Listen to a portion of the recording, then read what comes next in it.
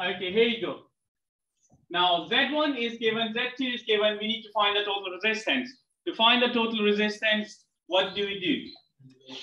We actually add them. So Z equals Z1 plus Z2.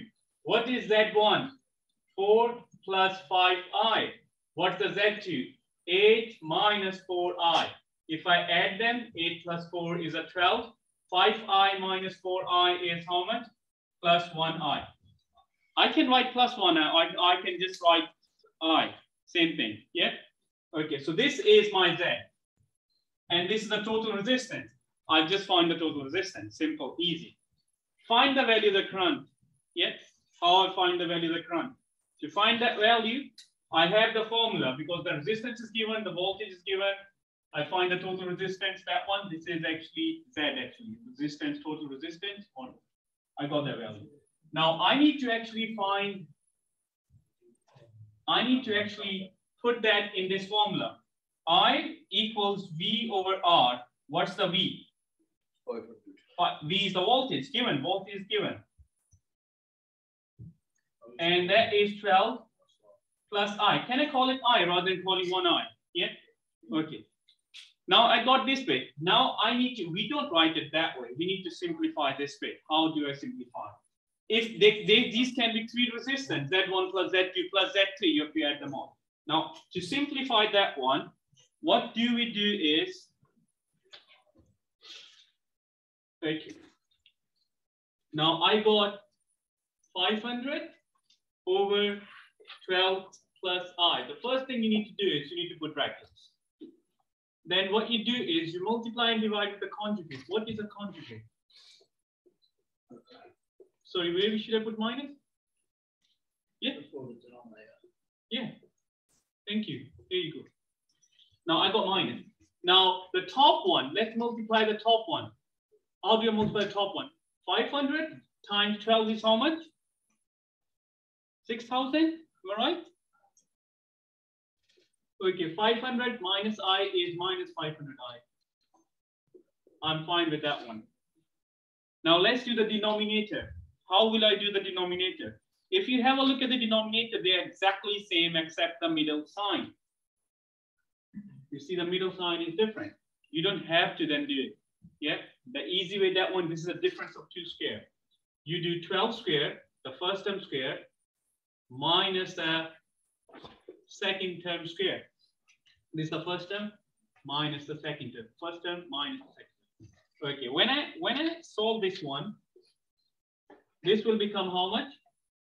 That can I solve the top one? Why why why I cannot? Because they are different two different terms. Okay, that will become 144 minus that becomes the i square. Now what is i square? How do you know it's minus one? Yeah, you're right, but how? You just know. That's good. So you, you just know. Okay. Okay. So because i is root minus one, so i square is actually minus one. So that will become 144 minus minus one. And minus minus makes a. So at the bottom,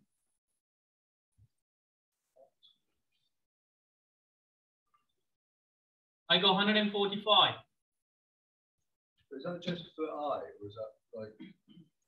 If that's a 5i, for example, if that, there was an i there, yeah? Yeah. I becomes, i squared becomes a minus 1, yeah? In case, if that was like this, 144,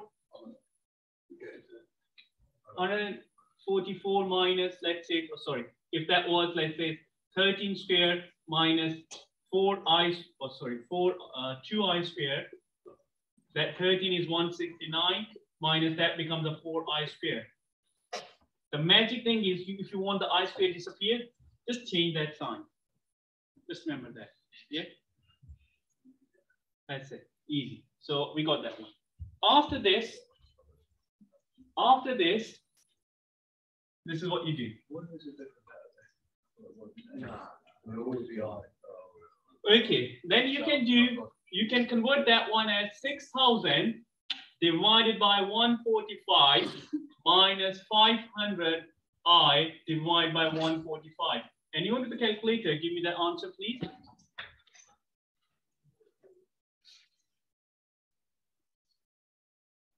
Forty-one point three eight.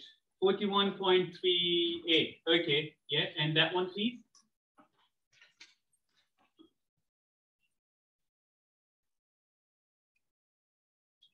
Three point four five. Okay, you're using two decimal places. Okay, so that's it. So you have converted.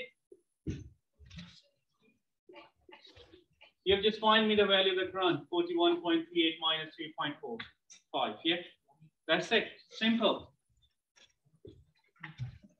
Ah,